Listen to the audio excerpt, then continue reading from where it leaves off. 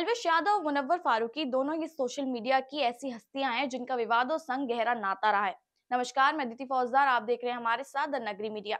यहाँ हम आज एलविश यादव और मुनव्वर फारूकी के वायरल वीडियो के बारे में बात करेंगे।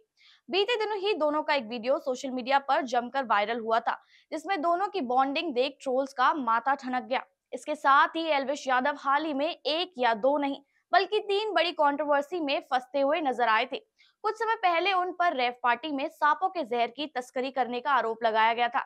इसके बाद उनका मैक्सटन उर्फ़ सागर ठाकुर को पीटने का एक वीडियो भी सामने आया था।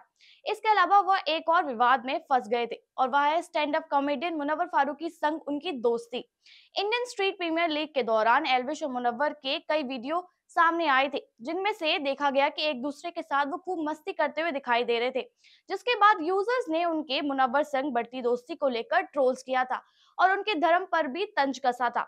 अब इस पूरे मामले पर एलविश ने अपनी प्रतिक्रिया ज़ाहिर की।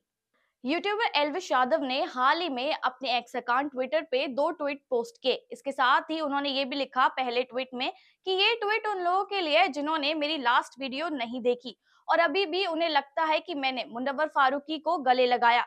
बल्कि साफ़ पता लग रहा है कि मैं बता भी चुका हूँ। मैंने उन्हें आउट किया था। उसके बाद मैंने उन्हें चिढ़ाकर बोला था कि मज़ा आ गया। फिर भी लोग उसके पीछे का मतलब नहीं समझ पा रहे। एलविश यादव का गुस्सा यहीं पर शांत नहीं हुआ। उन्होंने उनके हिंदू होने पर सवाल करने वाले ट्रोल्स को भी मुँह तोड़ जवाब दिया।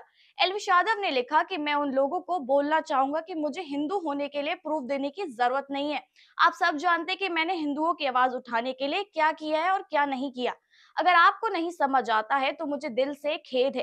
कृपा किसी के कहने से मैन्युपुलेट ना हुई आपको बता दें कि जब मुनव्वर बिग बॉस के घर में थे, उस दौरान भी एलविश तक उनके मनमुटाव की खबरें सामने आई थी। ऐसा कहा जा रहा था कि एलविश नहीं चाहते थे कि ट्रॉफी मुनव्वर फारूकी के हाथ में आए।